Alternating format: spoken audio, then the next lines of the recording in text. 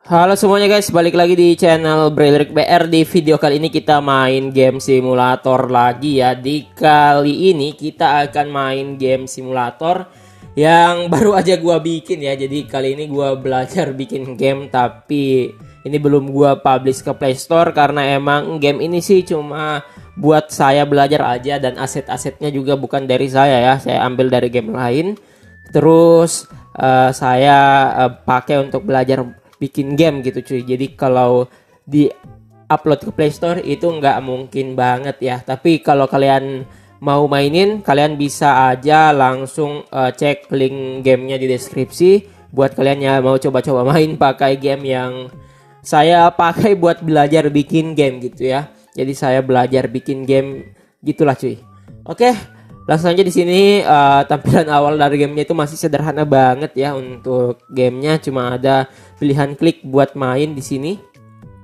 Nah kalau udah kita klik buat main kita langsung masuk ke dalam uh, gameplay gamenya jadi sederhana banget nggak ada pilihan-pilihan mobil jadi cuma ada Toyota Innova kali ini ya. Nah itu dia cuy. Dan ini mungkin kalian tahu ya mapnya mapnya ini dari gamenya IDBS cuy.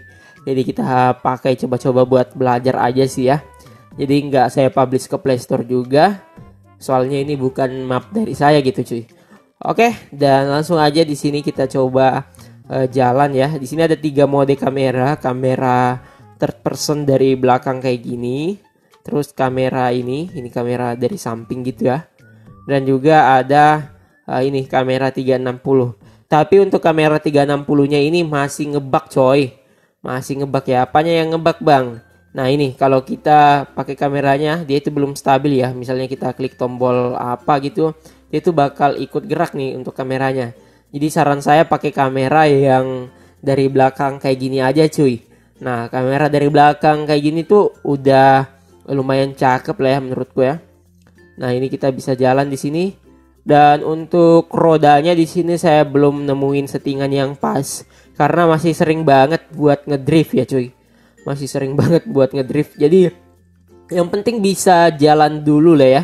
Jadi buat kalian mungkin yang game developer juga mungkin bisa kasih tahu saya lah ya settingan wheel collider yang pas dan settingan vehicle yang pas gitulah ya. Buat uh, bisa stabil gitu untuk gerakan mobilnya ya soalnya kalau kayak gini tuh agak-agak gimana gitu ya Nah ini agak kencang terus kalau kita terlalu belok itu dia bakal ngedrift. Permasalahan sebelumnya yang saya temui itu uh, kalau belok dia bakal guling-guling. Sekarang giliran gak ngeguling-guling uh, dia malah ngedrift. nah malah ngedrift dong. Ini apa ya? Ini mungkin mobil travel ngedrift coy. kita namain aja gamenya kali ya. Nama gamenya nih travel ngedrift. Dan kalau kita pakai kamera kayak gini nih lumayan keren sih kalau pakai kamera kayak gini ya bisa bikin video-video sinematik, sinematikan juga sih. Nah, nah asik drift tuh cuy. ini kalian bisa cobain aja untuk gamenya ini walaupun masih jelek banget kalian bisa support dengan cobain gamenya. Bisa kalian langsung cek linknya di deskripsi cuy. Nah buat kalian yang mau uh, foto-foto juga uh, ini gamenya udah bisa dipakai foto-foto lah ya. Karena menurut gua kalau ini game dipakai foto-foto itu grafiknya lumayan bagus gitulah. Oke. Ini belum bisa ngerem, saya belum uh, kasih tombol rem gitu cuy. Cuma tombol maju mundur aja yang ada. Oke, kayak gitulah. Oke guys, dan ya ini dia gamenya ya masih sederhana banget. Jadi kalau kalian mau cobain langsung aja download linknya di deskripsi video. Dan ya mungkin segitu aja dulu cuy untuk video kita kali ini ya. Kalau kalian suka videonya jangan lupa like, comment, dan subscribe channel ini pastinya. Sampai jumpa di next video guys.